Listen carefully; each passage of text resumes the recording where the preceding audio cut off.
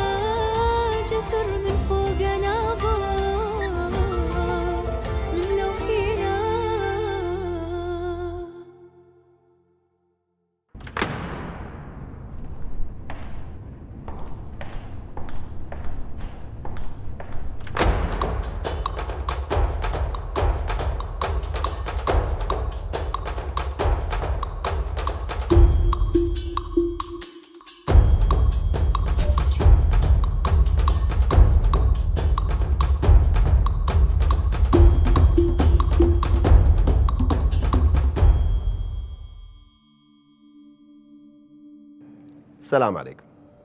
الأطفال هم سكر الدنيا وحلاوتها. لكن اليوم بنتكلم عن أطفال مختلفين. المرض صار صديقهم والإبر شريكتهم في الحياة والحرمان من أكلاتهم المفضلة صار روتين بالنسبة لهم. هذه التحدي عاشوها أطفال وايد في مجتمعنا ومنهم طفل شجاع عشنا معاه هذه التجربة. الطفل عيسى الملة. اليوم أنا جاي سنتر عشان أسأل الناس إذا بيضربوني إبرة السكر أو لا تعالوا وياي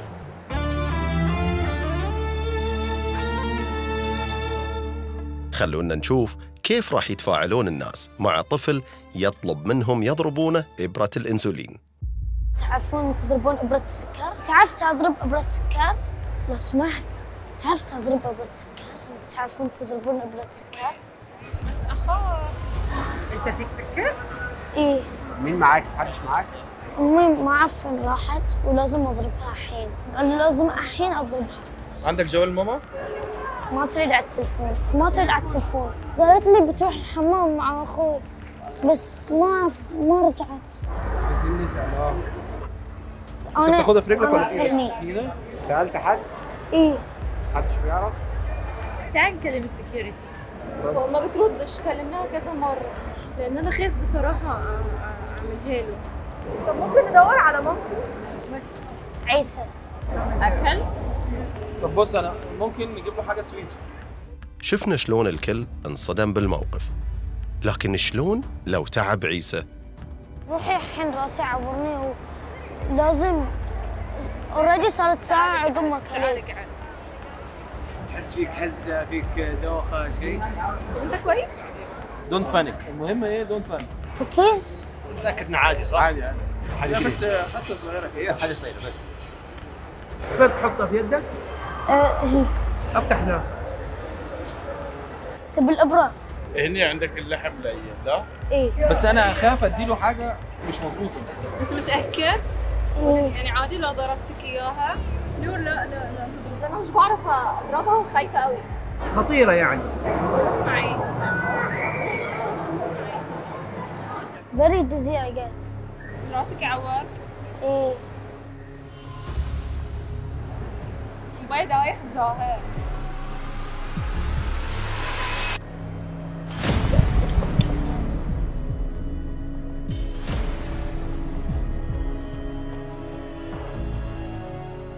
أصعب شعور لما تشوف طفل ينهار قدامك وتحمله بين يدينك ويحتاج مساعدة منك لكنك ما تقدر تساعده.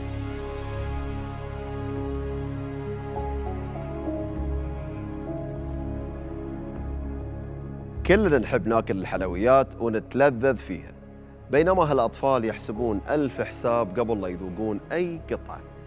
عشان ما تصير لهم أي مضاعفات ممكن تأثر على حياتهم وتشكل خطر عليهم. مثل ما شفنا مع البطل عيسى. أتمنى كل أطفال السكر يحصلون حالهم.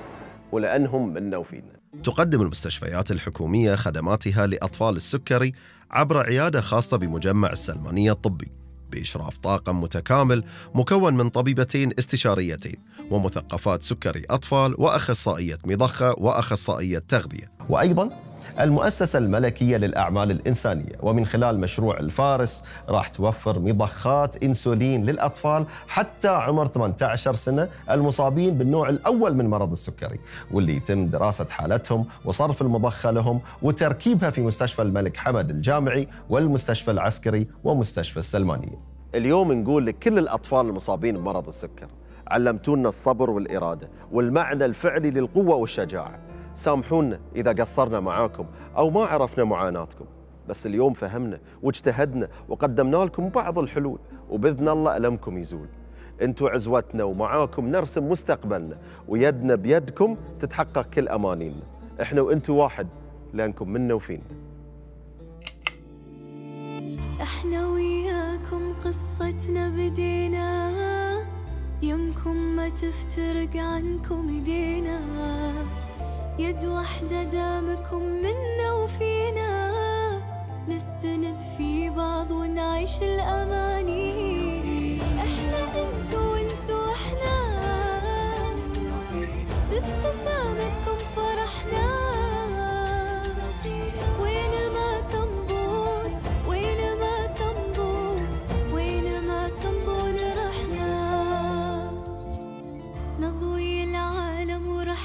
ليلة طويلة والنهاية بالأمل مو مستحيلة.